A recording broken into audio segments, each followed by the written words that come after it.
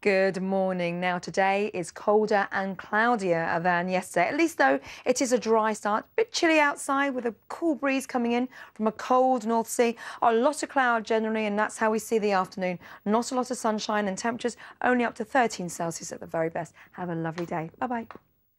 Good morning. Now, today is colder and cloudier than yesterday. At least, though, it is a dry start. A bit chilly outside with a cool breeze coming in from a cold North Sea. A lot of cloud generally, and that's how we see the afternoon. Not a lot of sunshine and temperatures only up to 13 Celsius at the very best. Have a lovely day. Bye bye.